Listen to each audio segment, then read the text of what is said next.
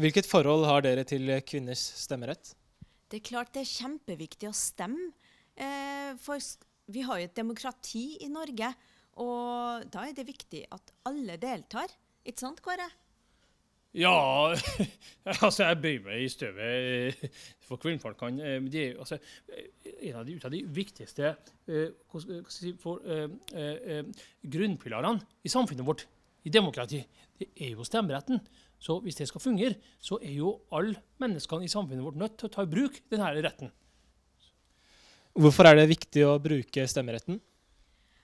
Det er jo slik da, at hvis du ikke bruker stemmeretten, så skjer det ikke noe. Det ingen som har kan høre deg da, vet. Nei, og, og, og skal vi klare å opprettholde det flotte velferdssystemet og sosialpolitikken som vi har i Norge i dag, da er det så viktig at alle går til valg og bruker stemmeretten de Ja, har. altså, vi, vi, vi har det jo bra i Norge, vi har jo det.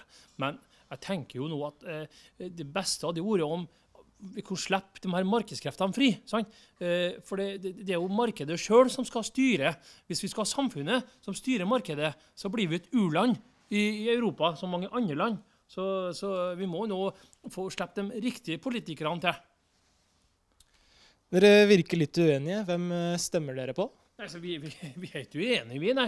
Altså, vi tenker jo Men det, det skal jeg fortelle deg. Det som irriterte meg, det var for to år siden. Da var det kommunevalg. og Da var det én stemme som bikka hele valget til venstresida. Og det hadde jeg bare funnet i det mennesket. Så skulle jeg sagt noe sannhetsord og sendt de der argumentene tilbake til steinalderen, der de hører hjemme. Men vi, men vi er ikke uenige. Vi, eh, ja, eh, Du kan jo sjøl fortelle hva vi stemte. Det vet du jo. Det er så lenge siden, Kåre. Jeg husker ikke. Ja, men du husker jo hva det, Det er så lenge siden. Vi stemte Vi stemmer Altså, vi, vi stemmer Det gjør vi. Jeg, jeg bruker stemmeretten, det gjorde jeg, men jeg, jeg, husker ikke. Det er så lenge siden. Nei, nå må du slutte.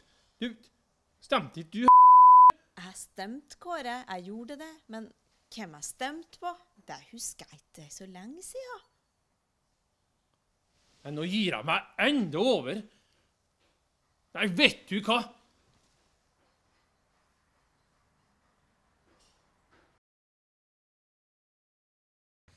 Hvilket forhold har dere til kvinners stemmerett?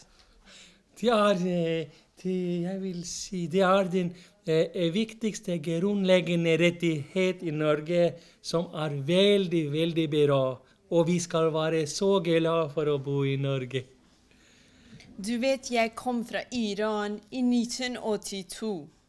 Og den tiden, det var ikke bra i Åh, Iran. det var ikke bra. Det var Det ikke var ikke bra. bra. For på kvinner, det var tvang. Det var så vanskelig. Du skal være hjemme, de sier. Du skal bruke chador. Du kan ikke stemme. Så jeg kom til Norge, og det er mye bedre. Jeg kan stemme. Jeg bestemmer for meg. Du kan stemme og bestemme.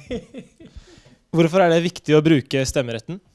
Det er Du kan si eh, Det er som med resten av livet. Hvis jeg sier til henne noe uten å bruke stemme, eksempel Det skjer ingenting! Det er samme prinsipp, ikke sant? Å, vær så snill. Stemmerett betyr ikke du skal snakke hele tiden. Snakke, snakke. Du skal bare putte i boksen. Ferdig. Hvem eh, stemmer dere på? Vi har en stemme på den flerkulturelle parti. Du vet, uten flerkultur i Norge, ingen Norge. Hvis det du går ikke ikke. stemmer, ingenting skjer. Så ingenting. Du må stemme. Da det skjer masse.